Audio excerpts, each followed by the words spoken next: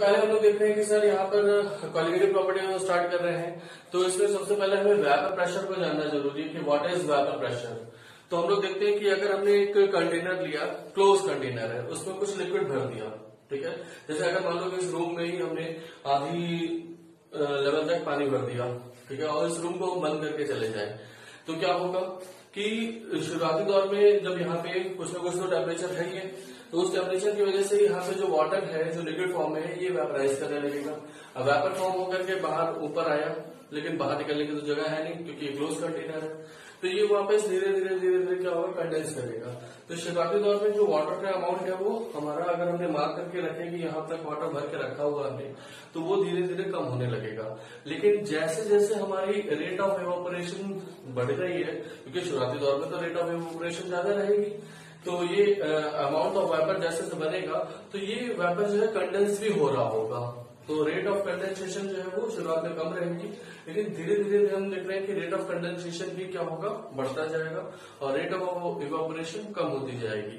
तो जब इनके बीच में एक इक्विलिब्रियम स्टैब्लिश हो जाए कि एक पर्टिकुलर टेम्परेचर पर रेट ऑफ़ इवेपोरेशन और रेट ऑफ़ कंडेंसेशन बराबर हो गया तो उस कंडीशन में जो भी वेपर प्रेशर आपका महसूस हो रहा है।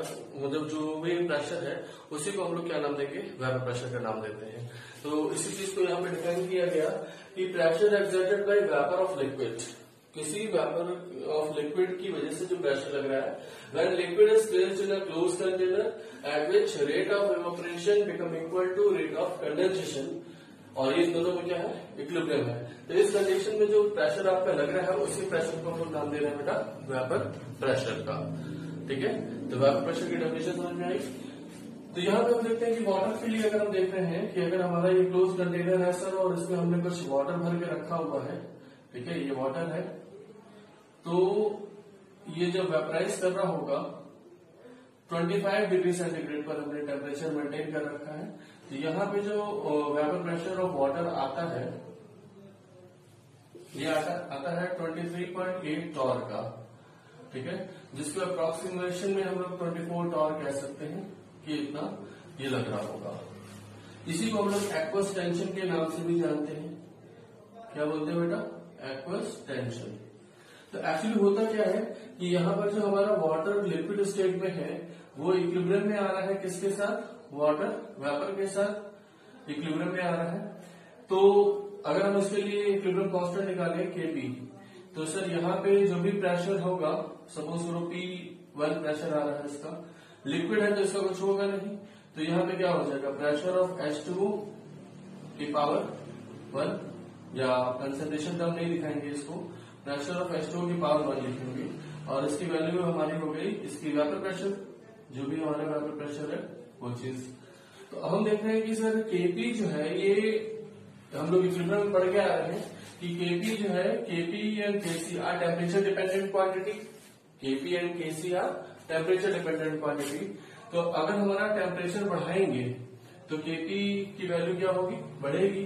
और केपी जो है वो वेपर प्रेशर की डायरेक्टली इक्वल है। तो यानी कि वेपर प्रेशर भी क्या हो रहा होगा सर बढ़ रहा होगा।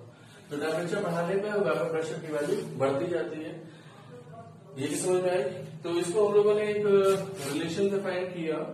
रिलेशन डेवलप किया कि log of P two upon में पी वन बराबर डेल्टा एच नॉट अपॉन में two point three zero three R one upon T one minus one upon में टी टू ये कहा गया। अब टी टू पी वन जो है, ये वेपर प्रेशर है।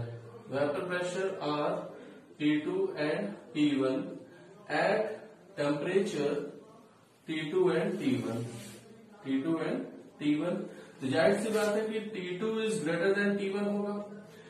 Therefore T two is greater than T one ये चीज़ हम कह सकते हैं। साथ ही साथ हम पी की जगह वेपर प्रेशर की जगह केपी भी रख सकते हैं। तो यही इक्वेशन केपी के टर्म में बन जाएगी। Log of KP two upon में केपी वन बराबर। बाकी सारी चीज़ें सेम रहेंगी। डेल्टा एच नॉट अपॉन में two point three zero three R one upon में T one minus one T two one upon T one minus one upon T two तो वैसे ही क्वेश्चन है कि T two is greater than T one और P two is greater than P one यहाँ के P to भी ज़्यादा होगा के पी वन से। तो इस इक्वेशन को बेटा हम लोग नाम देते हैं C L A U S I U S C L A P E Y R O N थोड़ा सा नाम इसका मतलब कैल्शियम क्लैपर इक्वेशन बोलते हैं। इसके बाद हम लोग सबसे पहली क्वालिटेटिव प्रॉपर्टी पढ़ने जा रहे हैं। Relative lowering in vapor pressure ठीक है? Relative lowering in vapour pressure अब देखो यहाँ पे क्या होता है। जैसे मान लो कि हमने एक कंटेनर लिया है, इसमें प्योर सॉल्वेंट भर रखा है। इसमें क्या है भाई? प्योर सॉल्वेंट है और कुछ सल्यूट नहीं है इसमें। तो ये अपना उड़ करके जो वेपर प्रेशर दे रहा है पीनॉट दिया पीनॉट को हम लोग यहाँ बोल रहे हैं pure vapour pressure pure vapour pressure of solvent ठीक है? अब इसमें क्या किया हमने? नॉन वोलाटाइल सल्यूट इसको हम सॉल्वेंट को ए से दिखा रहे हैं सॉल्यूट को बी से दिखाया। इज़ एडेड ठीक है? इसका सम अमाउंट डाला। Some amount of non volatile solute B is added तो अब क्या हो जाएगा? कि सर हमारा जो सॉल्वेंट मॉलिक्यूल है, उसका कुछ पोर्शन जो है, ये नॉन वोलेटाइल सोल्यूट पार्टिकल भी तो ऑक्यूपाई करेगा। ठीक है? तो अब ये बन गया, अब ये सॉल्वेंट रहा क्या? नहीं, अब ये क्या बन गया? सॉल्यूशन बन गया सर क्या बन गया? सॉल्यूशन अब ये जो उड़ रहा, उसी टेम्परेचर पर मेंटेन करके रखा गया है। तो ये जो है, आपका, अब जो वेपर प्रेशर आ रही है उसको हमने बोला P S S stand for solution तो पी एस जो है वो ज़्यादा होगा, कम होगा या बराबर होगा, क्या लगता है? तो हमने देखा कि सर जब ये सॉल्यूशन बन जाएगा तो इसकी डेंसिटी क्या हो जाएगी? बढ़ जाएगी। इसकी कंपैरिजन में इसकी डेंसिटी क्या हो जाएगी? ज़्यादा हो जाएगी। और ग्राम ऑफ़ डिफ्यूजन से हम लोग देखते हैं कि सर जो रेट ऑफ़ डिफ्यूजन है वो inversely proportional to square root of density होता है। यानी डेंसिटी अगर आपने बढ़ा दी है तो इसका डिफ्यूजन की रेट जो है वो कम हो जाएगी। एक तो ये भी चीज़ सपोर्ट करता है। दूसरा कि हमारा जो सॉल्यूट पार्टिकल है सर, वो उड़ नहीं रहा है। ठीक है ना? वो उड़ने में मदद नहीं कर रहा है, ना तो वो खुद उड़ रहा है। लेकिन वो जब गया है तो उसका हाइड्रेशन होगा कि नहीं? सॉल्वेशन होगा कि नहीं? अगर वाटर होगा तो हाइड्रेशन बोलेंगे कोई अदर सॉल्वेंट होगा तो सॉल्वेशन बोलेंगे। तो उसका सोल्यूट पार्टिकल का उसके साथ कुछ ना कुछ इंट्रैक्शन हो रहा है कि नहीं हो रहा है? बिल्कुल हो रहा है। तो उस वजह से भी वो सर्टेन सॉलिड सॉलिड मॉलिक्यूल को अपने ऊपर चिपका के रखेगा तो उसके उड़ने की टेंडेंसी क्या हो जाएगी? कम हो जाएगी। तो ओवरऑल ये है कि सर पीएस की वैल्यू कम होगी और पी नॉट की वैल्यू ज़्यादा होगी। पीएस क्या है सर वो मैं यहाँ लिख दे रहा हूँ कि PS vapour pressure of solution है।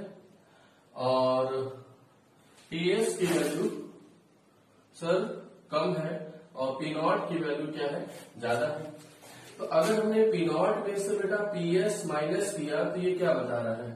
कितने की कमी हुई? ये क्या बता रहा है? कितने से कम हो गया। पी नॉट ओरिजिनल है पीएस कुछ कम हुआ। डिफरेंस अमाउंट जो है वो क्या बताएगा? कितने से कम हुआ? तो इसको हम लोग नाम देते हैं लोअरिंग इन वेबर प्रेशर इसको क्या बोलते हैं? लोअरिंग इन वेपर प्रेशर और अगर हमने इस वैल्यू को ओरिजिनल वैल्यू से रिलेट कर दिया ओरिजिनल वैल्यू कितनी है? पी नॉट उससे रिलेट कर दिया।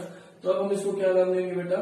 इसको नाम देते हैं relative lowering in vapour pressure ठीक है? Relative lowering in vapour pressure यही हमारी क्या है? पहली क्वालिटेटिव प्रॉपर्टी है सर यही हमारी क्या है? पहली क्वालिटेटिव प्रॉपर्टी है। ये चीज़ समझ में आया कि P naught minus P S upon में पी नॉट जो है, उसको ही हमने क्वालिटेटिव प्रॉपर्टी पहली वाली बोला है relative lowering in vapour pressure अब जो हम लोगों ने राउट लॉ पढ़ा था राउट लॉ याद है सबको? राउट लॉ क्या था बताइए? तो राउट लॉ क्या कहता है कि किसी भी कंपोनेंट का जो वेपर प्रेशर होगा, वो बराबर होगा उसके original vapour pressure multiplied by mole fraction of that component in liquid phase याद है? पीए बराबर क्या था? P naught A multiplied by X A PB बराबर क्या था? P naught B multiplied by X B X and X B क्या थे? Mole fraction in liquid phase ठीक? तो यहाँ पे हम लोग देखते हैं कि according to Raoult law according to Raoult law अच्छा एक बात ध्यान रखेंगे कि राउट लॉ जो है, वो ऐसा नहीं है कि liquid in liquid type of solution के लिए ही वैलिड है। राउट लॉ यहाँ पे चारों कॉलिगेटिव प्रॉपर्टी के लिए वैलिड है। ठीक है?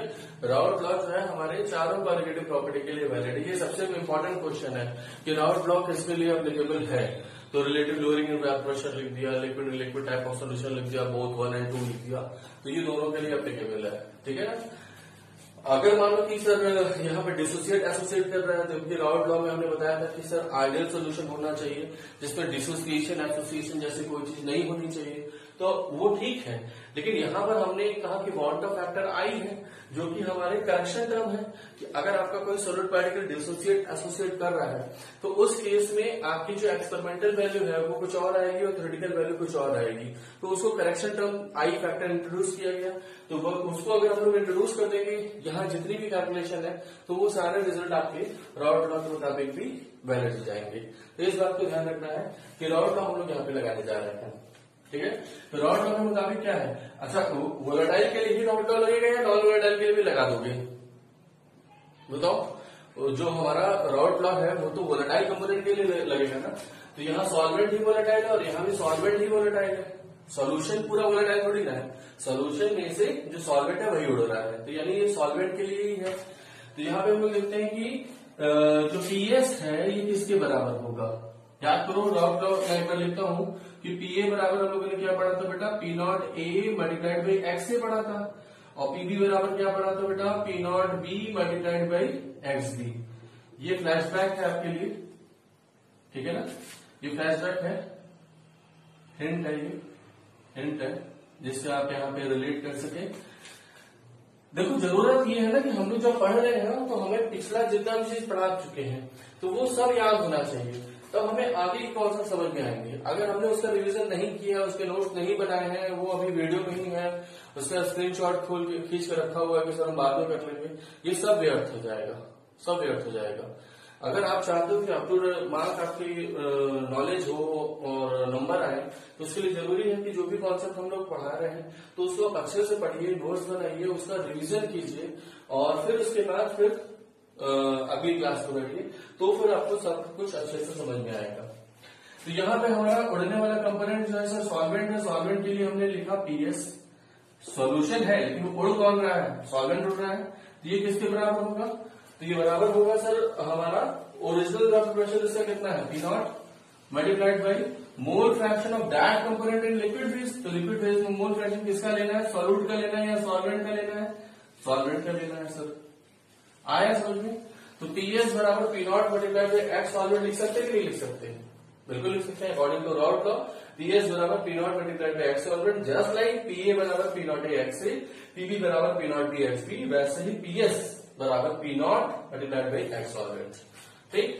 तो अब हम लोग यहाँ से देख रहे हैं कि सर पीएस बराबर P naught multiplied by X solvent है।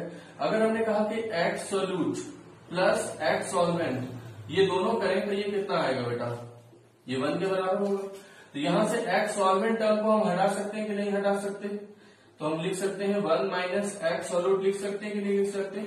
बिल्कुल लिख सकते हैं सर। तो ऊपर वाली जो इक्वेशन है, वहाँ पर हमने कहा कि पी एस अपॉन में पी नॉट कर दे अगर। तो हम उसको क्या लिख सकते हैं? एक्स सॉल्वेंट लिख सकते हैं। बोलो। एक्स सॉल्वेंट लिख सकते कि नहीं? पी एस अपॉन में पी नॉट कर दो एक्स सॉल्वेंट आ जाएगा। और एक्स सॉल्वेंट की जगह हम क्या लिखने जा रहे हैं बताओ? वन माइनस एक्स सॉल्यूट लिखने जा रहे हैं सर? ठीक है? वन माइनस एक्स सॉल्यूट अब उसके बाद, अगर हम एक्स सॉल्यूट को इधर ले आए और रियल आइटम उधर ले जाए तो क्या हो जाएगा बताओ? सॉल्यूट बराबर हो जाएगा one minus P S upon में पी नॉट। बोलो। One minus P S upon में पी नॉट। और अगर हमने इसको पी नॉट का भी इधर एल्सियम लिया तो P nought minus P S upon में पी नॉट। ये क्या आ गया बेटा? एक्स सॉल्यूट आ गया। तो जो इस कॉन्सेप्ट में जो फॉर्मूला बनाया जाता है ना, वो फॉर्मूला इस टर्म को बनाते हैं। ठीक है? P nought minus P S upon में पी नॉट जो है वो रिलेटिव लोअरिंग इन प्रेशर है। यही टर्म बोल रहे ना? यानी कि relative lowering in vapour pressure जो है relative lowering in vapour pressure जिसको हमने बोला, कितने टर्म को बोला? P nought minus P S upon में पी नॉट और ये किसके बराबर है? ये बराबर है एक्स और सलूज के। ठीक है ना? तो ये चीज़ हमारी निकल के आ गई। ये सर क्वालिटेटिव प्रॉपर्टी जो है, वो हमारे नंबर ऑफ़ मतलब मोल फ्रैक्शन ऑफ़ सॉल्यूट पे डिपेंड करेगा। क्वालिटेटिव प्रॉपर्टी है वो किस पे डिपेंड कर रही है? मोल फ्रैक्शन ऑफ़ सॉल्यूट पे। और मोल फ्रैक्शन ऑफ़ सॉल्यूट किस पे डिपेंड कर रहा है? मोल्स ऑफ़ सॉल्यूट पे। तो अगर हमने कहा कि sir if moles of solute increases moles of solute को अगर हमने बढ़ाया तो क्या होगा? Then mole fraction of solute increase करेगा कि नहीं करेगा? करेगा। और mole fraction of solute increase करेगा तो relative lowering in vapour pressure जो है, वो ज़्यादा होगा या कम होगा? तो ज़्यादा होगा।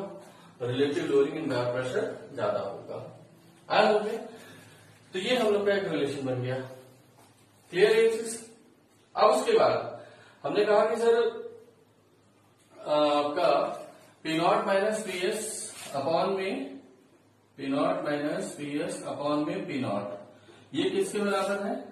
एक्स सोल्यूट के बराबर है। इसको हमने ओपन करके लिखे तो हम क्या लिख सकते हैं? सोल्यूट को हमने बी से रिप्रेजेंट करने के लिए कहा है और सॉल्वेंट को ए से रिप्रेजेंट करने के लिए कहा है।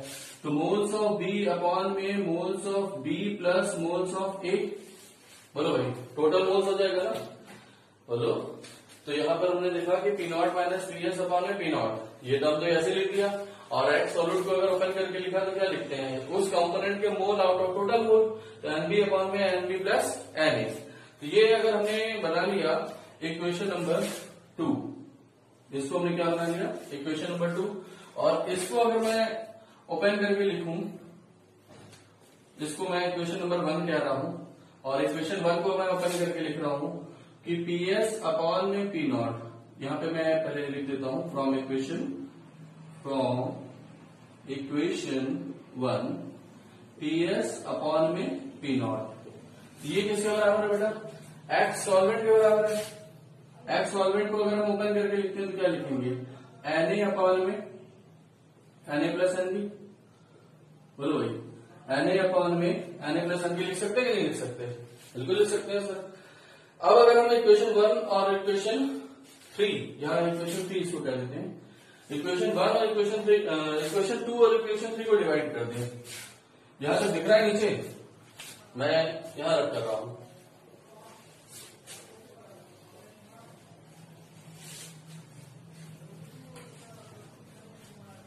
देखो पे। इक्वेशन टू और थ्री को डिवाइड किया। Equation two divided by three किया। तो क्या आ जाएगा बेटा देखो? P nought minus P S upon में पी नॉट ये है, और ये है एन बी अपॉन में N A plus N B ठीक है ना? और इसमें क्या लिखा हम लोगों ने? ये इक्वेशन टू हो गई। और इक्वेशन थ्री क्या है? पी एस अपॉन में पी नॉट ये बराबर क्या है? एन ए अपॉन में N A plus N B ठीक है? ये इक्वेशन नंबर थ्री है। दोनों को डिवाइड करने के लिए कह रहे हैं डिवाइड कर दो तो क्या हो जाएगा? टोटल मोल से total mole cancel P nought से पी नॉट कैंसिल तो क्या बचा देखो? इसको हम लोग लिख सकते हैं कि P nought minus P S upon में पी एस ये किसके बराबर है? एन बी अपॉन में एन ए के ठीक है? तो ये एक फॉर्मूला और निकल के आ गया सर अच्छा देखो, ये वाला फॉर्मूला जो है, अगर हम कहें कि बच्चे ने ये वाला फॉर्मूला अप्लाई कर दिया एक्स सॉल्यूट को खोल करके एनबी अपॉन में N A plus N B कर दिया। ठीक है? तो यहाँ थोड़ा सॉल्व करना मुश्किल हो जाएगा अगर वेट का टर्म दे दे तो।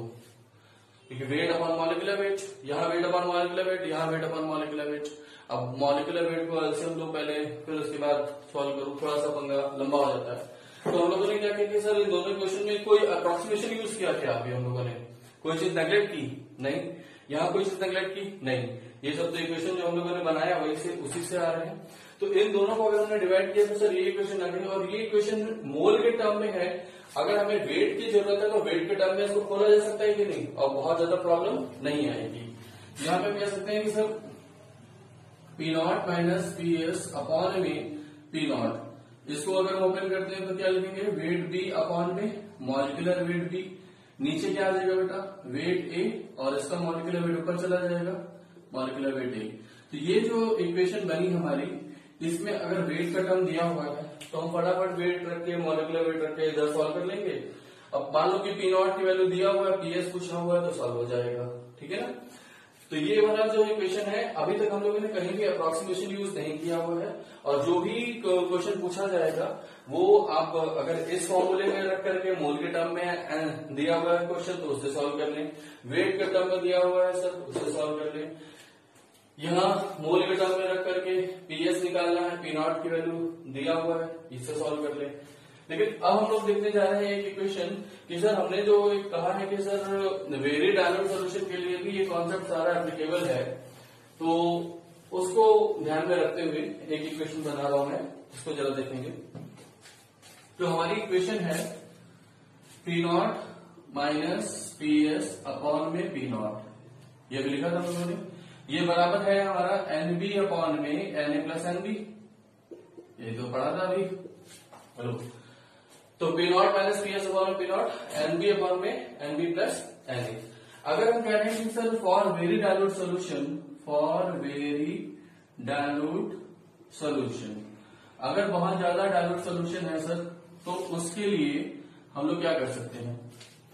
एन बी और एन ए में एन ए की वैल्यू बहुत ज़्यादा माने एन बी और एन ए में, अगर एन ए की वैल्यू बहुत ज़्यादा माने तो इसको नेग्लेक्ट कर सकते हैं कि नहीं नेग्लेक्ट कर सकते यहाँ से? तो क्या आ जाएगा बताओ? P nought minus P S upon में पी नॉट ये बराबर हो जाएगा एन बी अपॉन में एन ए की। बोलो ये किसके बराबर हो गया? एन बी अपॉन में एन ए की। ठीक है? तो ये जो रिलेशन है, ये हम लोग का ज़्यादातर इस चैप्टर में काम आने वाला है। क्यों? क्योंकि सर, हमारे जो क्वेश्चन हैं, वो बहुत ज़्यादा आपके डायलूट सोल्यूशन पे ही बनाए जाते हैं।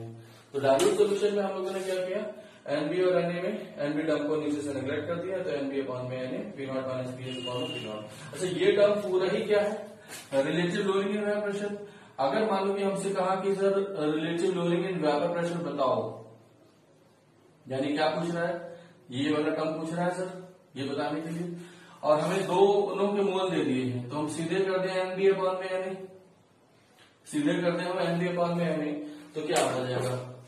रिलेटिव लोअरिंग प्रेशर आ जाएगा कि नहीं आ जाएगा? बिल्कुल आ जाएगा। तो इस बात का ध्यान रखना कि सर, ये वाला जो रिलेशन है, इसमें हम लोग का relative lowering in vapour pressure directly आ रहा है। हमें एनबी और एनए की वैल्यू दे दिया है क्वेश्चन में, उसको हम सीधे डिवाइड कर दें। आ जाएगा। लेकिन अगर मान लो कि सर, हमें क्वेश्चन में ये चीज़ नहीं पता चल पा रही है कि डायलूट सोल्यूशन है या कंसनट्रेट सोल्यूशन है। मतलब ज़रूरी नहीं है कि क्वेश्चन को मेंशन किया हो कि वेरी डायलूट सोल्यूशन तो हम लोग फिर इस फॉर्मूले को अप्लाई न करें हम लोग इसको अप्लाई करेंगे, इसको। ठीक है? ये फॉर्मूला हमने बताया कि अप्रोक्सीमेशन में यूज़ कर रहे हैं वेरी डायलूट सोल्यूशन के लिए। अगर आपको कंफ्यूजन है कि सर डायलूट सोल्यूशन है या नहीं है, ये पता नहीं चल पा रहा हमें तो कोई बात नहीं, आप इस फॉर्मूले को यूज़ न करें। आपका आंसर इससे भी आ जाएगा। लेकिन यहाँ पर बस खरी मशक्कत हम लोग को करनी पड़ेगी, क्योंकि sir P nought minus P S upon P nought ये पूरा टर्म रिलेटेड प्रेशर है लेकिन यहाँ पी नॉट से तो डिवाइड कर नहीं है ये किससे डिवाइड कर रहा है? पी एस से डिवाइड कर रहा है। तो कोई बात नहीं एन बी एन दिया है आपको यहाँ पे ना तो वो यहाँ रख दो उठा करके। पी नॉट की वैल्यू दिया है पी एस पहले निकाल लो। पी एस निकाल लिया? पीएस निकाल लिया ना यहाँ सॉल्व करके। एनबीएनए दिया है पी नॉट दिया है तो पीएस आ जाएगा। अब उसके बाद क्या है? अलग से के कर लो कि P nought minus P S upon में पी नॉट कितना हो जाएगा? पी नॉट पता चल गया है को पी एस पता चल गया है तो P P nought minus P S upon में पी नॉट ये निकाल लो तो ये हमारा क्या है? रिलेटिव लोअरिंग प्रेशर में आया? तो यहाँ तक हम लोगों ने जितना पढ़ा, उसमें कहीं भी हम लोग को फ्लैश बैक पे जाइए अभी हम लोगों ने जितना में लिखा, कहीं हम लोगों ने नेग्लेक्ट नामक वर्ड यूज़ नहीं किया है. नेग्लेक्ट नामक वर्ड हमने यहाँ यूज़ किया है, केवल इस फॉर्मूले में. ठीक? आज हो गए लेकिन अगर हमें दिक्कत है सर, कि सर हम क्वेश्चन में पहचान नहीं पा रहे हैं कि डायनोड सोल्यूशन है या नहीं है तो आप इसको ना यूज़ करें, आप सिंपली इसको यूज़ करें। जो भी चीज़ दिया हुआ है लैंग्वेज में, उसको समझिए। जो रखना है, पूछा है, वो ध्यान से निकाले। और पीएस की वैल्यू निकालने के बाद फिर हम लोग यहाँ पे अगर मान लो related lowering in pressure term पूछा है तो मुझे ये वर्ड निकालना है, ये इतना टर्म निकालना है। पिनॉट भी पता है आपको पीएस भी पता चल गया तो पिनॉट माइनस पीएस अपना पिनॉट कर लो, ये आ जाएगा। आया समझ में? क्वेश्चन लगाओ क्वेश्चन लगाओ, जितना क्वेश्चन है तुम्हारे कहीं से भी सिलेबस में है पैकेज में है एनसीआरटी में है, कहीं से भी क्वेश्चन लगाओ।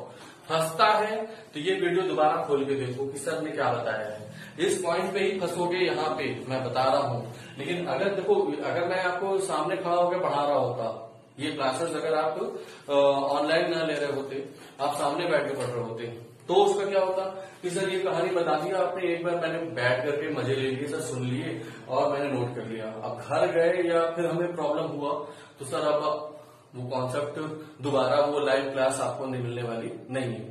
तो ये दिक्कत ये इसका बेनिफिट है कि आपके पास रिकॉर्डेड लेक्चर है यूट्यूब पर फिर से क्लिक करो। जो था वो प्रॉब्लम सुनो। कहाँ पे हम लैग कर रहे हैं वो चीज़ देखो। क्या मैं बताया हूँ उसको समझो। और फिर से जाकर सॉल्व करो। देखो डेफिनेटली तुम खुद सॉल्व करोगे। और ये ज़्यादा खुशी वाली बात है कि आपने क्वेश्चन खुद सॉल्व किया एज कंपेयर टू किसी से पूछना पड़ रहा है। समझ में आ रही बात? इस बात का ध्यान रखिए। क्वेश्चन आपसे सॉल्व हो, ये ज़्यादा ज़रूरी है। एज कंपेयर टू सर हमें हिंट कर दो, फिर हम सॉल्व करें। क्योंकि हिंट भूल जाता है। उस समय अगर जो क्वेश्चन आपको फंसा। और आपने अपने टीचर से पूछा, आप याद रखो, दोबारा वो क्वेश्चन आएगा ना तो आपको ये याद आएगा कि ये क्वेश्चन सर ने बताया था। लेकिन ये नहीं याद आएगा कि सर ने क्या बताया था। ठीक? तो इसलिए क्वेश्चन में खुद से फाइट करना सीखो। जब खुद से फाइट करोगे तो आपको ये ज़रूर याद आएगा कि यार, ये क्वेश्चन मैंने सॉल्व कर लिया था। और ये जो एक हिम्मत जो है ना, अंदर से एक जज्बा आपको अंदर आया कि ये क्वेश्चन मैंने सॉल्व कर लिया था। थोड़ा सा टाइम लगेगा दस बीस सेकंड का हो सकता है, एक दो मिनट का लग जाए। आप क्वेश्चन को छोड़ करके अगला क्वेश्चन सॉल्व करना शुरू करो। आपके माइंड में तुरंत उसको सर्च कर रहा है कि क्या कॉन्सेप्ट था, क्या कॉन्सेप्ट था। वो अपना माइंड बैकअप में लिया हुआ उस चीज़ को।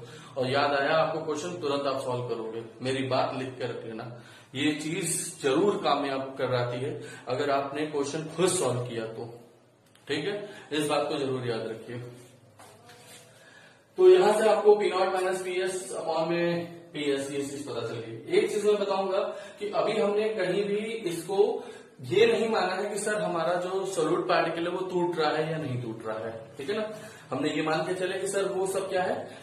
नॉन इलेक्ट्रोलाइट है। टूटने और जुड़ने वाली कोई बात नहीं है। लेकिन अगर मान लो कि क्वेश्चन में कह रहा है कि वो एनएसीएल के लिए है तो क्वेश्चन में कहा हुआ है कि वो एस्टिक एसिड के लिए है। तो ऐसे केस में हमारा आई फैक्टर आएगा। आई फैक्टर किसके लिए आएगा? सॉल्यूट के लिए आएगा या सॉल्वेंट के लिए आएगा? सॉल्वेंट अगर टूट रहा होता तो सॉल्वेंट तो बगैर सॉल्यूट के भी टूटा ही पड़ा हुआ है सर। है कि नहीं? तो सॉल्वेंट के लिए हम लोग आई फैक्टर इंट्रोड्यूस नहीं करते हैं। आई फैक्टर जब भी इंट्रोड्यूस करेंगे, किसके लिए करेंगे? सॉल्यूट के लिए इंट्रोड्यूस करेंगे। तो सॉल्यूट के मोल में चेंज आएगा। तो सॉल्यूट के वो जहाँ जहाँ आपने यूज़ किए हुए हैं, उनमें क्या करते हैं? आई फैक्टर मल्टीप्लाई करते हैं, क्योंकि हम लोगों ने यही तो सीखा कि आई बराबर होता है एन ऑब्ज़र्व अपॉन में एन थ्योरेटिकल तो आप जो फॉर्मूले में एनबी यूज़ कर रहे हो, ये एनबी टर्म जहाँ पे भी आ रहा है एनबी टर्म आ रहा है एनबी टर्म आया ये सब किसके लिए आया सोलूट के लिए आया और सोलूट सर टूट रहा है, नहीं टूट रहा है, ये हमारा क्वेश्चन अभी नहीं था। लेकिन अब हमें क्वेश्चन में मिल रहा है कि सर एनएसीएल है एस्टिक एसिड है, ये टूट रहे हैं या जुड़ रहे हैं। तो आई फैक्टर आएगा ना। अब आई फैक्टर निकालेंगे कैसे? क्वांटम फैक्टर से, जो मैंने पढ़ा दिया कि डिसोसिएशन एसोसिएशन के लिए सर कैसे अप्लाई करना है, वो चीज़ आप देखो। ठीक है? लेकिन अब जब आई फैक्टर आपको पता चल गया तो आई फैक्टर यूज़ कहाँ करना है? सोलूट के मोल के साथ। तो यहाँ पर हम जो एन ऑब्ज़र्व निकालेंगे तो एन ऑब्ज़र्व बराबर क्या हो जाएगा बेटा? N I multiplied by N theoretical लेकिन किसका? फॉर सोल्यूट फॉर सोल्यूट के लिए।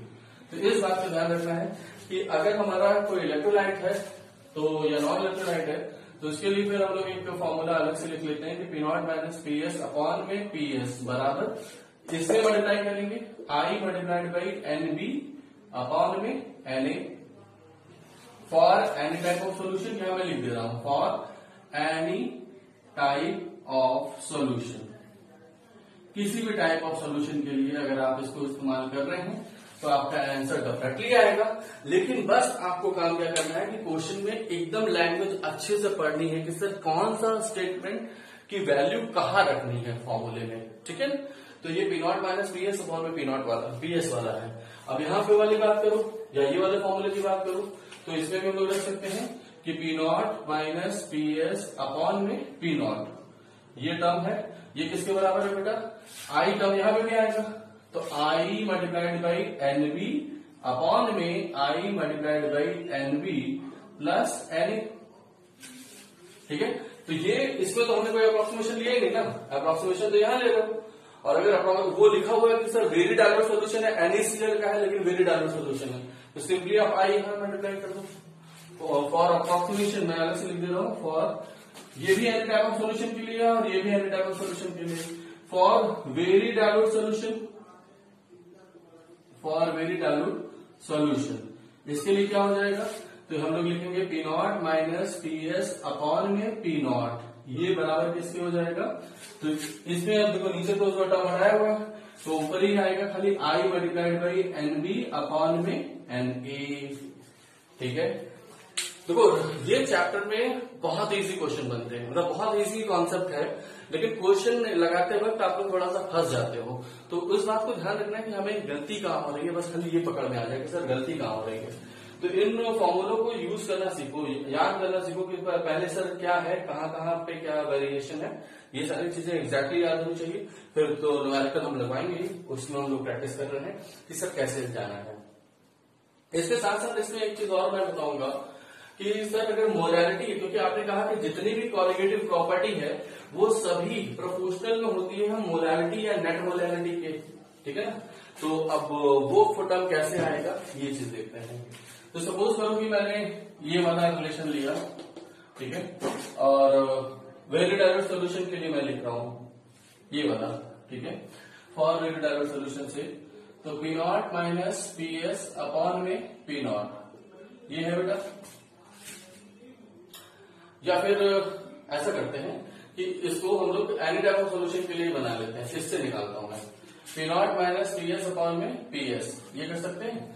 तो ऊपर क्या बेटा? आई एन बी टर्म है, और नीचे क्या है? एन ए एन ए को अगर हम ओपन करें तो weight of A divided by molecular weight of A ये लिखोगे ना? वेट ऑफ़ ए अपॉन में मॉलिकुलर वेट ऑफ़ ए अब ये वेट जो है ए का ये किसमें है? ग्राम्स में है.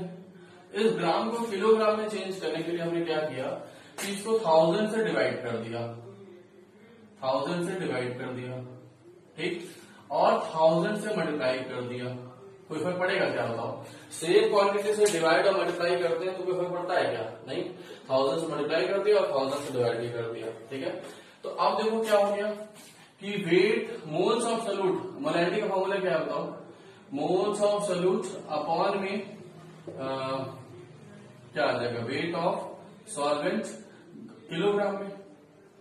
यही तो होता है ना? Weight of solvent in kilogram यही है मोलैरिटी का फॉर्मूला तो ऊपर देखो क्या है? एनबी नीचे वेट अपॉन में आ, ये इतना टर्म ठीक? तो ये वेट ग्राम अपॉन में थाउज़ेंड लिए तो किलोग्राम हो ही गया ये चीज़। तो ये चीज़ इसमें समा गई और एनबी टर्म ऐसे लिखा हुआ है। यानी कि हम क्या लिख सकते हैं बताओ? P nought minus P S upon में टी एस ये चीज़ लिखा। इधर क्या बचा? आई अगर आई फैक्टर देखो आप लिख के चलो। आई फैक्टर आप क्वेश्चन में, हर क्वेश्चन में लिख के चलो। हर, जब भी आप सोल्यूशन करने चलो आई फॉर्मूला लिखो। भले इलेक्ट्रोलाइट हो चाहे नॉन इलेक्ट्रोलाइट हो। अगर नॉन होगा तो आई की वैल्यू वन हो जाएगी। और अगर वो इलेक्ट्रोलाइट हुआ डिसोसिएट एसोसिएट कर रहा है तो आई आपने लिखा है तो आप सोचोगे भी। लेकिन आपने ऐसा फॉर्मूला बनाया सर, जिसमें आई है ही नहीं है। ठीक है? वो एनएसीएल के लिए दिया हुआ है केसीएल के लिए दिया हुआ है एल्यूमिनियम सल्फेट के लिए दिया हुआ है। सर, सबका आंसर सेम आएगा, क्योंकि सर, हमारा आई की वैल्यू सब में कॉमन ही मान लिया मैंने। ये गलत हो जाएगा ना? इसलिए आई की वैल्यू हम लोग लिख के चलेंगे, सभी फॉर्मूलों में। तो आई लिख लिया। अब ऊपर क्या बचा बटा तो बताओ। इस पूरे टर्म को हटा के मोलैरिटी लिख सकते हैं कि नहीं? मोलैरिटी लिख लिया सर। ठीक है? मल्टीप्लाइड बाई क्या है? एम ए ये है मॉलिकुलर वेट ऑफ़ सॉल्वेंट ये क्या है? Molecular weight of solvent divided by क्या कर दे? थाउज़ेंड थाउज़ेंड का भी तो बचा। और ये समझ आ रही? तो यहाँ से हम लोग का एक मोलैरिटी वाला ये रिलेशन आ गया। और जो हमने कहा था कि सर जितनी भी क्वालिटेटिव प्रॉपर्टी है, वो मोलैरिटी के प्रोपोर्शनल में है। वो चीज़ यहाँ से निकल के आ रही है हमारी। ठीक है? जो अगर हमने इस फॉर्मूले से रिलेट किया तो भी आ जाएगा। सर इस फॉर्मूले से रिलेट करते तो भी आ जाता, बस खाली हमें अप्रोक्सीमेशन लेना पड़ता कि सर नीचे से एन बी टर्म नेग्लेक्ट कर रहे हैं। तो related lowering in vapour pressure जो है वो मलाइटी के प्रपोस्टल में हमें देख रही है। आज समझ में? नोट करें इसको पूरा।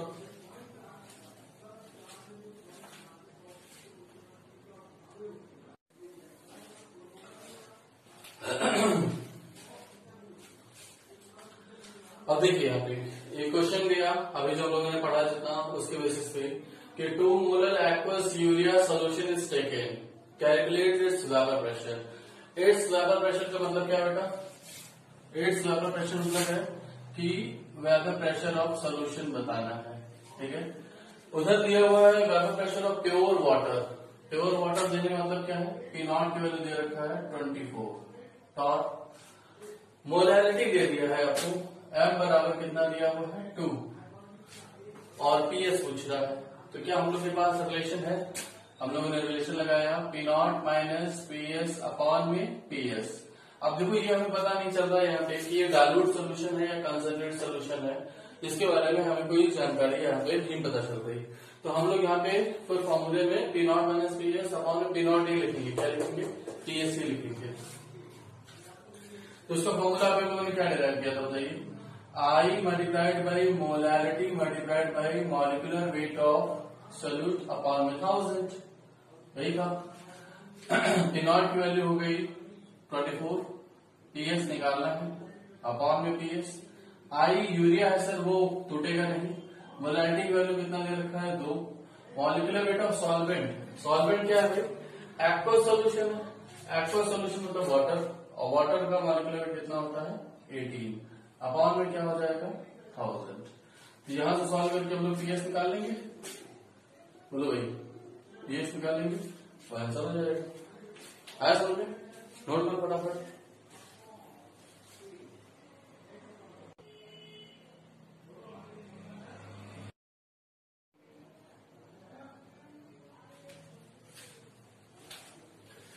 अब इसके बाद अगला क्वेश्चन हम लोग का कि 6 ग्राम यूरिया है और उसको डिजोल्व किया गया है 500 ग्राम एक्वस सॉल्यूशन में। बताइए इसकी वेपर प्रेशर क्या होगा? तो यूरिया जो है वेट ऑफ़ सल्यूट की बात अगर हम करें तो कितना है? 6 ग्राम। सल्यूट को 20 से दिखा रहे हैं। मॉलिकुलर वेट यूरिया का पता है हमें? कितना होता है भाई? 60 ठीक है? इधर आ जाओ। यहाँ वेट किसका दिया बेटा? सॉल्यूशन का दिया हुआ है। कितना है? 500 ग्राम। अब यहाँ पे अगर हम माइनस कर दें, इसमें से वेट ऑफ़ सॉल्यूट कितना है भाई? 6 ग्राम। तो कितना हो गया? 494 ग्राम। ये क्या आ गया? वेट ऑफ़ सॉल्वेंट सॉल्वेंट क्या है? वाटर रोहित तो यहाँ से हम कह सकते हैं कि मॉलिकुलर वेट ऑफ़ सॉल्वेंट कितना हो जाएगा? 18 ये डब्ल्यू ए के बारे में पता चल गया और मॉलिकुलर वेट सॉल्वेंट में कितना है? 18 पी नॉट की वैल्यू दे रखा है हमें कितना? 24 और पी एस कैलकुलेट करना है। हो जाएगा भाई? तो हमारे पास फॉर्मूला क्या है? P naught minus P S upon में टी एस बराबर? डब्ल्यू बी अपॉन में M B W A upon में एम ए ये फॉर्मूला है वैल्यू प्लेस कर दो। पी नॉट वैल्यू कितनी है? ट्वेंटी फोर टी एस निकालना है. अपॉन में पी एस डब्ल्यू बी कितना है भाई? Six molecular weight sixty W A कितना है? सर फोर नाइन्टी फोर और ऊपर कितना हो गया? एटीन बोलो। यहाँ से पी एस आ जाएगा। पीएससी हमारा आंसर हो जाएगा भाई? नोट करें जल्दी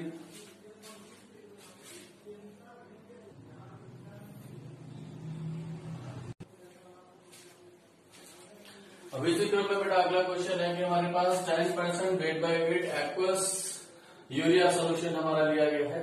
और कह रहा है कि वेपर प्रेशर ऑफ़ सोल्यूशन बताइए। अब देखो, यहाँ पे हमने जो भी क्वेश्चन करा रहे हैं, इसमें केवल डिफरेंट फॉर्म्स में हम क्वेश्चन कैसे दे सकते हैं, इस पर स्ट्रेस दे रहे हैं। आप इन पे ध्यान दें। तो ten percent weight by weight का मतलब बताओ पहले क्या लिखेंगे? Ten percent weight by weight का मतलब क्या होगा? इसका मतलब क्या होगा? Ten gram of solute is present in hundred gram solution ये आउट ऑफ़ सॉल्यूशन के बारे में जानकारी देता है। नीचे हम लोग जानते हैं।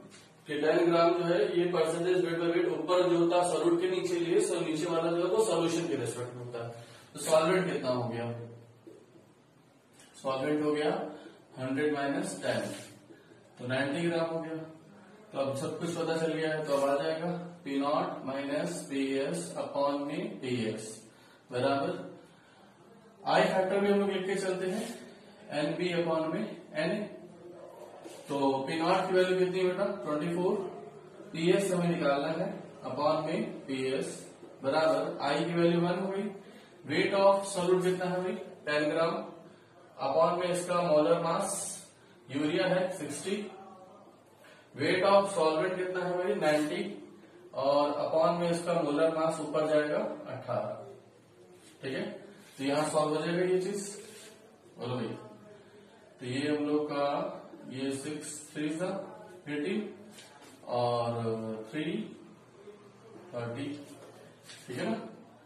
तो थ्री से ये कटा तो थर्टी तो ये कितना हो गया? Twenty four minus P S upon equal to P S upon में थर्टी या फिर ट्वेंटी फोर बराबर P S multiplied by one plus one upon में थर्टी तो इसे सॉल्व कर लेंगे हम लोग पी एस बराबर कितना हो जाएगा? Twenty four multiplied by thirty upon में थर्टी वन हो जाएगा सॉल्व नोट करें जल्दी.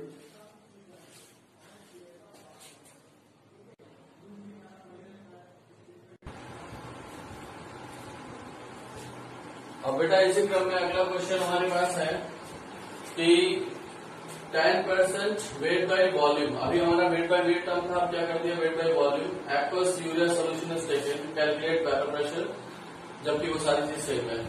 अब देखो, यहाँ पे मैंने पहले बताया कि sir percentage weight by weight हो या परसेंटेज वेट बाय वॉल्यूम है। दोनों को सेम तरीके से मान के सॉल्व कर सकते हैं। अल्टी एंडलेस के डेंसिटी क्वेश्चन में न दिया हो। अब ये क्वेश्चन में डेंसिटी ऑफ़ सोल्यूशन दे दिया है। इसका मतलब है कि वो आपसे कह रहा है कि आप इस परसेंटेज वेट बाय वॉल्यूम से सारी डिजायर्ड चीज़ें निकालें और फिर सॉल्व करें। यानी परसेंटेज वेट बाय वेट और परसेंटेज वेट बाय वॉल्यूम हमें कंसिडर नहीं करना है। इस क्वेश्चन में ये पहले से बता दिया गया है। ठीक है? तो चलिए हम सॉल्व करते हैं। परसेंटेज वेट बाय वॉल्यूम क्या मतलब होगा बेटा, यहाँ पे बताओ। तो ten gram of solute present in hundred ML solution हो जाएगा। अब अगर एमएल सोल्यूशन पता है वॉल्यूम पता है डेंसिटी पता है तो मास ऑफ़ सोल्यूशन आ जाएगा कि नहीं आ जाएगा? यहाँ से मास ऑफ़ सोल्यूशन निकाल लेंगे हम लोग, कितना हो जाएगा? डेंसिटी मल्टीप्लाइड बाई वॉल्यूम तो डेंसिटी कितनी है भाई? 1.4 और वॉल्यूम कितना है? 100 ठीक है? तो ये कितना हो गया? 140 ग्राम मास ऑफ़ सोल्यूशन अगर आ गया है, इसमें से अगर हम मास ऑफ़ सोल्यूट माइनस कर दें, जो कि कितना है? टेन यहाँ से क्या आ जाएगा बेटा? मास ऑफ़ सॉल्वेंट आ जाएगा। सॉल्वेंट कितना आ गया बेटा? 130 बोलो भाई। तो चालीस में से दस हज़ार एक सौ तीस। तो अब ये दोनों चीज़ें अगर आ गई हमारे पास तो ये तो हम यहाँ से हटा देते हैं। तो हो जाएगा सॉल्व फॉर्मूला ये लगना है। पी नॉट की वैल्यू ट्वेंटी फोर दे रखा है पी एस की वैल्यू हमें निकालनी है आई की वैल्यू वन वेट कितना हो गया? टेन अपॉन में, मैं इसको फिर से लिख देता हूँ।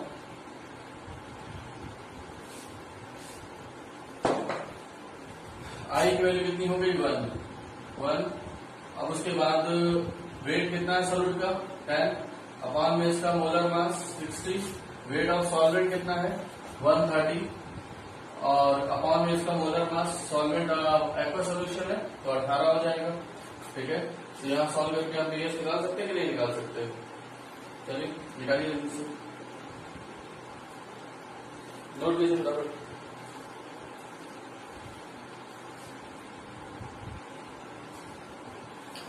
अब अगला क्वेश्चन यहाँ पे है कि mole fraction of aqueous urea solution is point one calculate vapour pressure ठीक है ऑफ़ सोल्यूशन तो यहाँ पे देख रहे हैं कि मोल फ्रैक्शन अगर हमें दे दिया है यूरिया का पॉइंट वन तो इसका क्या मतलब होगा बेटा? बोलो। अगर एक कंपोनेंट का मोल फ्रैक्शन ये है तो दूसरे का कितना हो जाएगा? जो सॉल्वेंट है, उसका कितना हो जाएगा? वन माइनस पॉइंट वन ये कितना हो गया? पॉइंट नाइन तो हम जानते हैं कि मोल फ्रैक्शन का जो रेशियो होता है ये चीज़ मैंने पहले बताई है कि मोल फ्रैक्शन का रेशियो ही मोल का रेशियो होता है। मोल का रेशियो होता है, ये चीज़ पहले बता दिया सॉल्वेंट वाटर है सॉल्वेंट क्या है वाटर तो ये हो गया पॉइंट वन और ये है पॉइंट नाइन तो ये कितना हो गया भाई? वन बाय नाइन इसकी वैल्यू कितनी आ गई? वन बाय नाइन अब हमारे पास फॉर्मूला तो वही है कि P naught minus P S upon में पी एस बराबर? I multiplied by N B upon में एन ए तो सॉल्यूट और सॉल्वेंट के मोल, हमें पता है आई की वैल्यू वन और ये हो गया वन बाई नाइन यहाँ पे पी की वैल्यू ट्वेंटी फोर है पी एस हमें निकालना है। हो जाएगा सॉल्व तो ट्वेंटी फोर बराबर क्या लिखेंगे?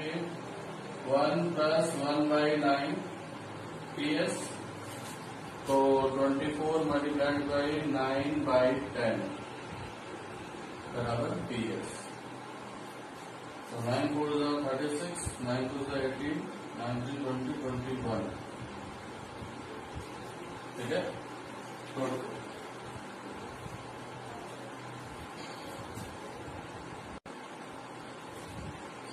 अब यहाँ बेटा, अगला क्वेश्चन कि हमारे पास इस बार मोलरिटी दे दिया है एक्वा सोल्यूशन ऑफ़ यूरिया की कि टू मोलर एक्वा सोल्यूशन है। वेपर प्रेशर बताना है। सोल्यूशन का pressure of pure water twenty four का। तो हम डायरेक्टली मोलरिटी की वैल्यू को मोलरिटी की वैल्यू ट्रीट कर लेते। अगर डेंसिटी ऑफ़ सोल्यूशन क्वेश्चन में ना दिया होता तो। लेकिन यहाँ क्वेश्चन में डेंसिटी ऑफ़ सोल्यूशन दे रखा है। यानी ये चाह रहा है कि आप मोलरिटी की वैल्यू को मोलरिटी की वैल्यू में कन्वर्ट करें। तो सबसे पहले हम लोग टू मोलर का मतलब लिखेंगे। टू मोलर का क्या मतलब होता है?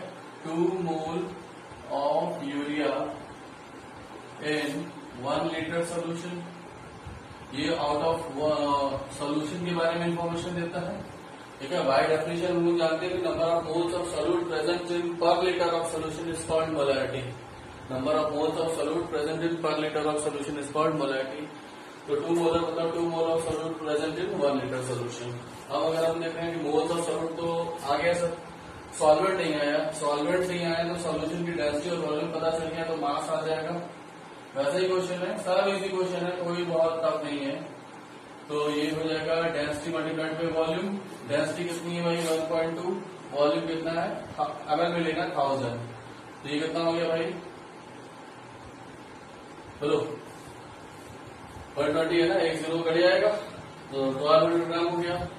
अब उसके बाद अगर हम यहाँ से टू मोल है, इससे भी मास निकालना पड़ेगा पहले कि मास ऑफ़ सल्यूट कितना हो जाएगा? तो two multiplied by molar mass sixty तो कितना आ गया बेटा? वन ट्वेंटी तो यहाँ से अगर हमने माइनस कर दिया कि सर मास ऑफ़ सल्यूट जो कि कितना है? वन ट्वेंटी है। इसको माइनस कर दो। तो ये क्या आ जाएगा? ये आ जाएगा आपका मास ऑफ़ सॉल्वेंट बोलो अब अगर हम देख रहे हैं कि कितना आ जाएगा ये?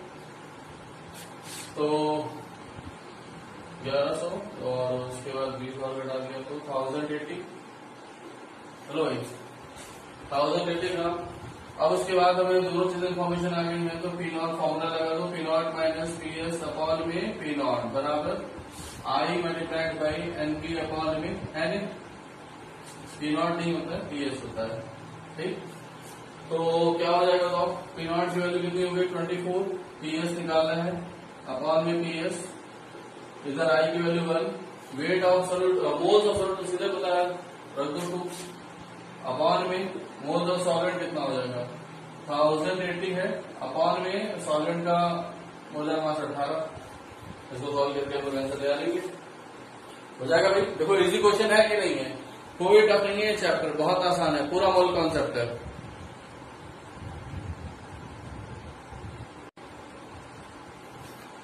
अब यहाँ बेटा एक नया क्वेश्चन आ गया। जिसमें कि हम लोग देख रहे हैं कि 6 ग्राम यूरिया है, जिसको डिजोल्व कर रहे हैं 180 ग्राम वाटर में। लेकिन अब जो है वो टेम्परेचर कर दिया है 100 डिग्री सेंटीग्रेड ठीक है? इसके पहले जब भी हमने वाटर का वेपर प्रेशर लिया है, वो 24 डॉट लिया हुआ है, वो क्यों लिया हुआ है? क्योंकि सर वहाँ पर हमारा टेम्परेचर मेंशन नहीं था। ठीक है ना? टेम्परेचर मेंशन नहीं है तो हम लोग कितना टेम्परेचर मानेंगे? क्या 100 डिग्री सेंटीग्रेड मान ले? नहीं? तो उसको हम लोग रूम टेम्परेचर ही मानेंगे और रूम टेम्परेचर का वाटर का वेपर प्रेशर कितना होता है? 24 डॉर वो भी एक्जैक्टली 23.8 डॉर होता है, जिसको हम 24 डॉर लेके सारे क्वेश्चन में सॉल्व किए हैं। ठीक है? लेकिन अब यहाँ पर जो क्वेश्चन में दिया हुआ है, वो 100 डिग्री सेंटीग्रेड टेम्परेचर दिया हुआ है। 100 डिग्री सेंटीग्रेड टेम्परेचर होने का मतलब है कि ये एटमोस्फेरिक प्रेशर है। क्योंकि हम जानते हैं कि वाटर का बॉइलिंग पॉइंट कितना होता है? 100 डिग्री सेंटीग्रेड और 100 डिग्री सेंटीग्रेड पर इसका प्रेशर एटमोस्फेरिक प्रेशर के बराबर होगा। और एटमोस्फेरिक प्रेशर कितना है? वन एटीएम वन एटीएम को अगर हम टॉर में लिखते हैं तो सेवन सिक्सटी टॉर। तो इस बात को ध्यान रखोगे कि at hundred degree centigrade at hundred degree centigrade boiling of water take place ठीक है? और इस वजह से जब बॉयल करना होगा तो वेपर प्रेशर ऑफ़ वाटर जो है, वो हो जाएगा वन एटीएम या वन एटीएम में न रख रहे हैं तो सेवन सिक्सटी टॉर हम लोग का जो, देखो बेसिक यूनिट जो उसमें दी रहती है, वो टॉर में दी रहती है। तो हम लोग को टॉर में सॉल्व करना पड़ेगा। तो उस वजह से कितना हो जाएगा बेटा? सेवन सिक्सटी टॉर बाकी सब तो चीज़ें आसान है। तो हमारा, बस खाली ये ध्यान रखना है कि आपके देखिए जनरली जो लोग ज्वाइन किए हुए इंस्टीट्यूट उनमें जो पैकेज में क्वेश्चन है, वो टॉर में है सारा। ठीक है? और ये चीज़ क्वेश्चन में अगर हंड्रेड डिग्री सेंटीग्रेड मेंशन है तो तो ठीक है भाई, वो चीज़, ये चीज़ जो अभी बोल रहे हैं, वो समझ में आ जाएगा। लेकिन जनरली वहाँ पे जो क्वेश्चन हैं, उनमें आपका टेम्परेचर मेंशन नहीं है, ठीक है? तो अभी वो सेवन सिक्सटी डॉट लेकर के सारा क्वेश्चन सॉल्व किया हुआ है। तो ये बात ध्यान रखना है कि बॉइलिंग ऑफ़ वाटर अगर हो रही होगी, तभी सेवन सिक्सटी रखना है। अदरवाइज़ अगर वो temperature twenty five degree centigrade mention है तो वो आपको ट्वेंटी फोर ही लेकर चलना होगा। समझ में आ रही मेरी बातें? तो यहाँ पर हमने फॉर्मूला लगाया कि P naught minus P S upon में पी नॉट ये किसके बराबर है I multiplied by N B upon में एन ए तो पी की वैल्यू कितने रखेंगे? सेवन सिक्सटी पी एस निकालना है अपॉन में पी एस ये बराबर हो गया आई की वैल्यू वन यूरिया है।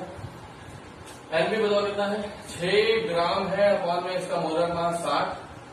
नीचे हो गया वन एट्टी ग्राम अपॉन में इसका मोलर मास एटी ये तो ज़्यादा आसानी सॉल्व हो जाएगा। नोट करें। कितना हो जाएगा करिए लेते सॉल्व तो ये हो गया टेन और ये कटा वन बाय टेन, ठीक है ना? और यहाँ से हो गया सेवन सिक्सटी माइनस, ये इधर ले जाते हैं। तो पी एस कॉमन हो जाएगा तो वन प्लस, यहाँ कितना बच रहा है? ये वन बाय टेन नीचे जाएगा और ये टेन हो गया, यानी हंड्रेड हो गया, ठीक है ना? तो हम लिख सकते हैं सिक्स बाय सिक्सटी और ये हो गया वन एट्टी और ऊपर हो गया एटी। तो इससे ये कट गया टेन, इससे ये कट गया टेन। हंड्रेड बचा? हंड्रेड प्लस वन ये हो जाएगा seven sixty multiplied by hundred upon में one zero one B S solve कर लेंगे भाई। नोट करें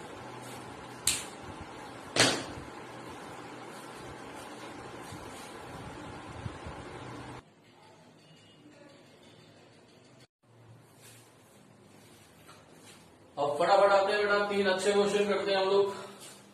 ठीक है? सबसे पहले क्वेश्चन में कह रहा है कि vapour pressure of solution having two gram solute ठीक है?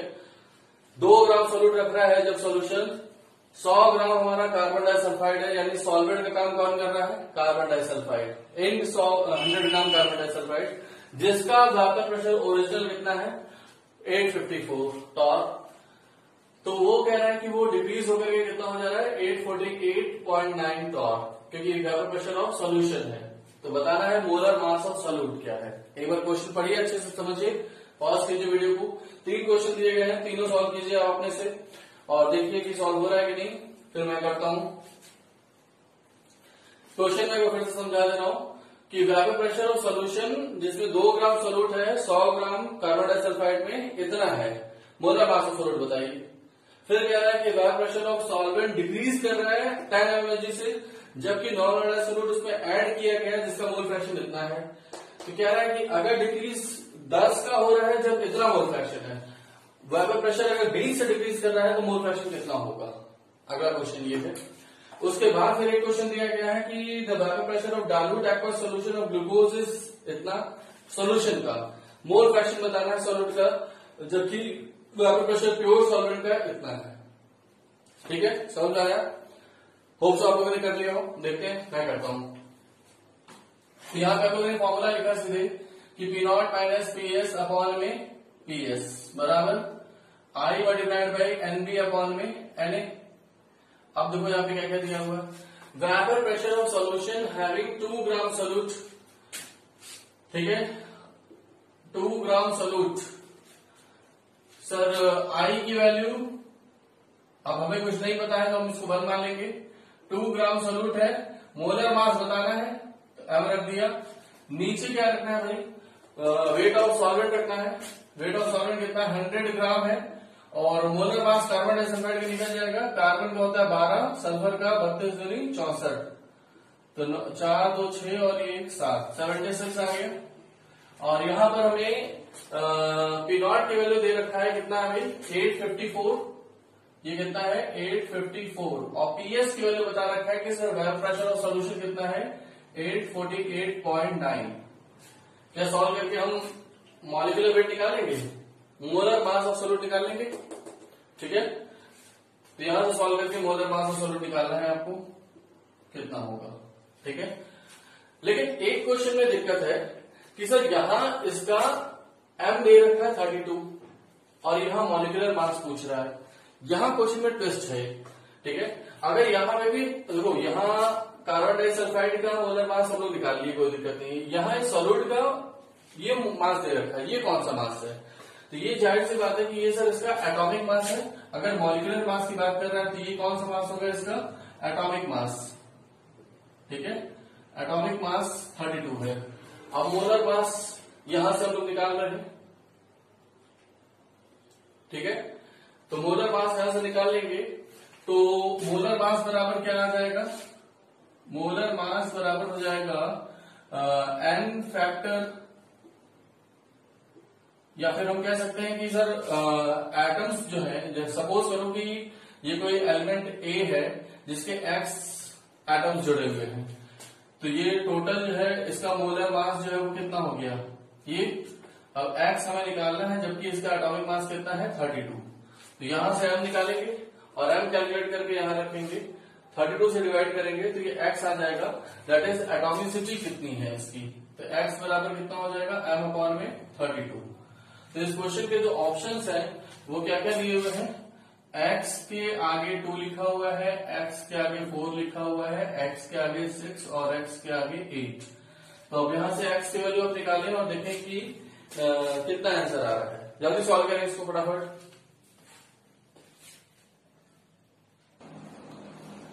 तो यहाँ से बेटा हम लोग ने सॉल्व किया जब इसको। तो यहाँ से मास जो निकला वो कितना निकला? 253 इसको सॉल्व कीजिए आप लोग। 253 आ रहा है। और 253 यहाँ रखते हैं। 32 से डिवाइड किया तो ये 8 के अप्रॉक्स आ रहा है। यानी कि सर, इसकी एटोमिसिटी कितनी है? 8 ठीक? तो मोलर मास ऑफ़ स्वरूप तो यहाँ निकल गया था। साथ ही साथ हमें उसका मोलिकुलर फॉर्मूला निकालना है तो x8 इसका मोलिकुलर फॉर्मूला हो जाएगा। उसके बाद अगला क्वेश्चन कह रहा है कि sir vapour pressure of solvent जो है वो डिक्रीज कर रहा है। डिक्रीज करने का मतलब है कि P naught minus P S की वैल्यू दे रखा है कितना? टेन टेन एम जी तो इस समय मोल फ्रैक्शन ऑफ़ सलूट जो आ रहा है वो कितना दिया हुआ बेटा? ये है पॉइंट टू कह रहा है कि अगर P naught minus P S दूसरी बार अगर आप कर रहे हो और ट्वेंटी का हो जाए तो एक्स सलूट क्या हो जाएगा? तो ये तो बड़ा आसान क्वेश्चन हो गया। क्योंकि हम जानते हैं कि P naught minus P S upon में P S P naught minus P S upon में अगर हम यहाँ पे by considering it very dilute solution अगर हम लोग यहाँ पे सोचे तो बड़ी आसानी से हो जाएगा कि P naught minus P S upon में पी नॉट बराबर मोल फ्रैक्शन ऑफ़ सोल्यूट होता है, ये फॉर्मूला हमारा। तो इसमें वैल्यू प्लेस कर दिया कि एक बार P naught minus P S की वैल्यू कितना दे दिया? Ten divided by P naught upon में, इसकी मोल फ्रैक्शन की वैल्यू कितनी दिया है? पॉइंट टू डिवाइडेड बाई फिर उसी तरह कर दो। P naught minus P S की वैल्यू अगर ट्वेंटी रहे हैं अपॉन में इसका मोल जो पी नॉट है वो तो सेम ही रहेगा। और इस मोल फ्रैक्शन ऑफ़ सोल्यूट जो है वो हमें निकालना है। एक्स सोल्यूट निकालना है। तो हो जाएगा सॉल्व भी पी नॉट से नॉट कैंसिल हो जाएगा, ये हो जाएगा वन बाई टू तो यहाँ से हो गया कि वन बाई टू बराबर पॉइंट टू अपॉन में एक्स सोल्यूट एक्स सोल्यूट कितना हो गया? यहाँ से पॉइंट फोर एक्स सोल्यूट जो है, वो कितना हो गया भाई? पॉइंट फोर आया में उसके बाद अगला क्वेश्चन कह रहा है कि vapour pressure of dilute aqueous solution of glucose is 750 MLG ये इसका टी टीएस की वैल्यू दिया हुआ है एक्वस सोल्यूशन का। मोल फ्रैक्शन ऑफ़ सॉल्वेंट बताना है, जबकि vapour pressure of pure solvent जो है वो इतना है। तो कोई दिक्कत नहीं है सर। यहाँ पे हम लोग क्या करेंगे? P naught minus P S upon में पी एस बराबर मोल फ्रैक्शन ऑफ़ सोल्यूट कर लो। यहाँ पे हम लोग एक्जैक्टली वही फॉर्मूला लगा लें। जिससे कि हम लोगों को कोई दिक्कत नहीं है अप्रोक्सीमेशन नहीं यूज़ करते हुए। तो vapour pressure of pure water जो है वो 760 है। 760 माइनस सेवन फिफ्टी अपॉन में क्या कर देंगे बेटा? 750 और ये बराबर हो जाएगा एक्स सोल्यूट इसको सॉल्व करें जल्दी से। देखें कितना आ रहा है। एक्स सोल्यूट तो पूछा है। तो ये हो गया 10 अपॉन में सेवन फाइव ज़ीरो यानी वन अपॉन सेवेंटी फाइव बोलो भाई। वन अपॉन में सेवेंटी फाइव तो यहाँ पे बेटा इसको जब सॉल्व किया गया तो वन अपॉन सेवेंटी फाइव कितना आ रहा है? पॉइंट ज़ीरो वन थ्री तो ये आंसर है इसका। ठीक है? यहाँ पर पॉइंट फोर आया और यहाँ पे एट आया। अब देखो, तुम लोग के दिमाग में थोड़ी सी परेशानी आ सकती है कि सर आपने यहाँ पे P naught minus P S upon में पी नॉट क्यों यूज़ कर लिया? अप्रोक्सीमेशन क्यों यूज़ कर लिया? पी एस यूज़ करना चाहिए था। तो मैं कह सकता हूँ कि यहाँ पे आपका, देखो, जो टेन एम एच का डिक्रीज है, जब हमने सर्टेन वो फ्रैक्शन ऑफ़ सोलो डाले, उसके बाद ट्वेंटी का डिक्रीज है। टेन से ट्वेंटी में बहुत ज़्यादा प्रेशर में डिफरेंस नहीं है। तो इस वजह से हमने ये मानते हुए कि सर ये डायलूट सोल्यूशन है, क्योंकि अगर हमने पीएस से डिवाइड करते तो एक बार पीएस इसका और एक बार पीएस इसका, दोनों का पीएस अलग अलग होगा। तो इस वजह से हमने क्या किया है कि इसको पी नॉट मान लिया, क्योंकि सर आपका टेन एमएलजी और ट्वेंटी एमएलजी में बहुत ज़्यादा डिफरेंस नहीं है। तो बहुत ज़्यादा हमने सोल्यूट को वेरिएशन नहीं किया है, ठीक है? आप रिज़ल्ट भी देख लो कि पॉइंट टू था, उसके बाद पॉइंट फोर हुआ है, ठीक है? तो इस वजह से हम लोग कह सकते हैं कि यहाँ पर हम लोग अप्रोक्सीमेशन यूज़ करके सॉल्व किया गया है P naught minus B S upon P naught बराबर एक्स सोल्यूट ये फॉर्मूला लगाया गया। दो बार इस इक्वेशन को बनाई गई। एक बार इक्वेशन बनाएगी, दूसरी बार इक्वेशन बनाएगी, और दोनों को डिवाइड कर दिया गया और ये हमारा आंसर आ रहा है। ठीक है? नोट करें फटाफट।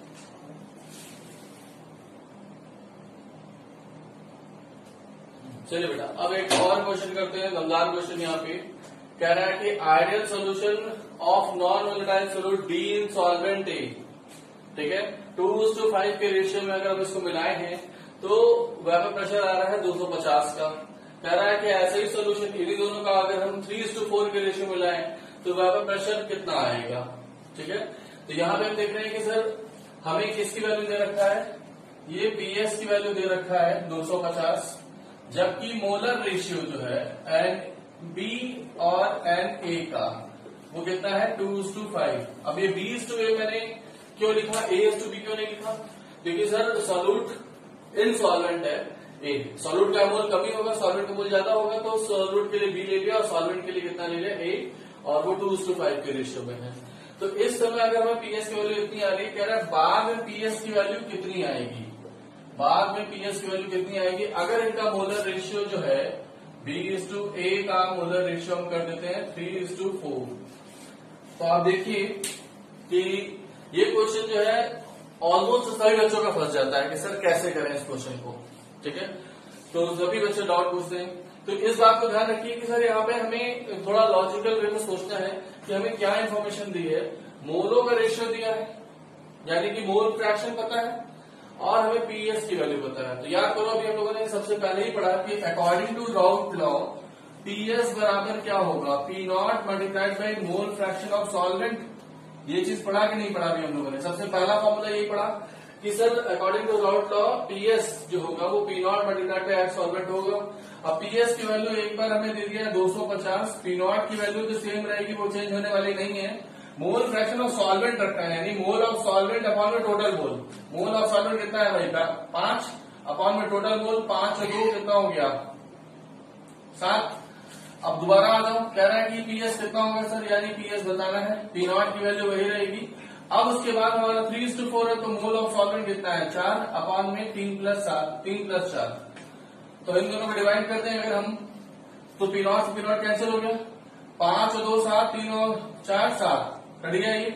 तो ये कितना हो गया? दो सौ पचास अपान में पी एस बराबर पाँच अपान में चार। तो यहाँ से पी एस बराबर कितना आ गया बेटा? पी एस बराबर आ गया दो सौ। ठीक है? और यूनिट क्या लिखा था? एमएमएचजी में है? तो ये एमएमएचजी में। कितना आसान क्वेश्चन है देखो। अगर हमें जितने भी डेरिवेशन करवाया गया है इस फॉर्मूले के रिलेटेड वो सारे डेरिवेशन अगर हमें तैयार रहते हैं तो बड़ी आसानी से क्वेश्चन हो जाएगा आपके सॉल्व नोट करें इसको।